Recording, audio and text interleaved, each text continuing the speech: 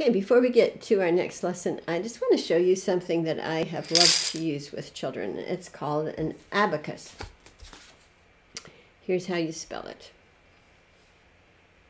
A B A C U S, an abacus. In some countries in the Middle East, or in um, like in China, in, the, in Asia, they may um, use these.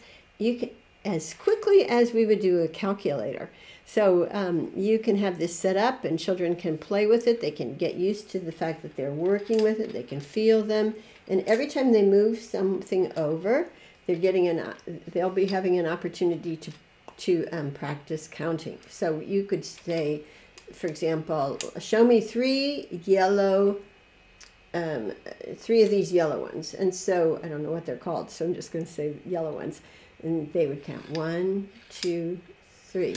Okay, can you do that again? Three more yellow ones? One, two, three. How about five greens? One, two, three, four, five. Now, if they're just starting to learn the number one, we can just practice it with one. Show me one yellow. Show me another yellow. One yellow. Show me one blue. Show me one green. Show me one red. All right, this seems so simple, but it's already showed them this is what one looks like compared to everything else. That's a huge concept, and it's the beginning of, it's the basis of so much understanding in math. So don't, you know, think that this is just too um, silly to to begin with. It's no help at all. It's practice, practice, practice. And it is also um, creating brain trees that say, this means one, this means one. And then later on, when they know how to count more, one and one is two, one, two. Or we can count them all. How many are on this side? One, two, three, four, five. Those are such great skills, such great number skills.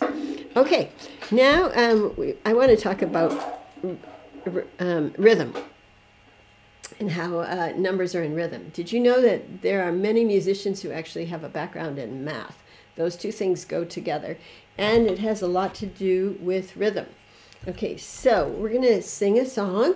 Um, three blind mice. Three blind mice. Three blind mice See how they run, see how they run. They all ran after the farmer's wife who cut off the tails with a carving knife. Did you ever see in your life the three blind mice? Three blind mice, three blind mice. You would be surprised at how important that is because it is solidifying inside of them what numbers do, what they sound like, um, the fact that they actually do have a sequence. Three blind mice, three blind mice. You can do those rhythm sticks. If you're um, playing music, you can have them tap out the rhythm and count as they're tapping out the rhythm. One, two, one, two, one, two, one, two, three.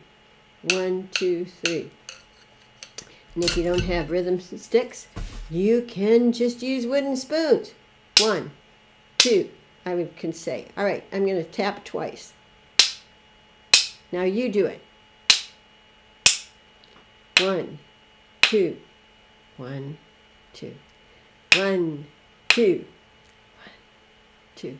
And as they get more aware of what um, the other numbers are, you can increase it. You can even increase it now because they're just going to repeat your words. They'll learn late, later what those words mean as you use the abacus, as you use your cards, all of that thing gets reinforced. But every time you use a number, it's increasing the size of the brain tree, it's increasing the branches on the brain tree of numbers, and it's increasing their understanding.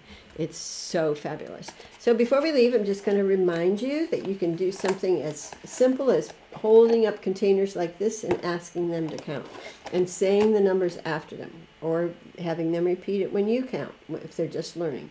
One, two, three. You have a picture here. How many children are in this picture? One, two, or one girl. one boy.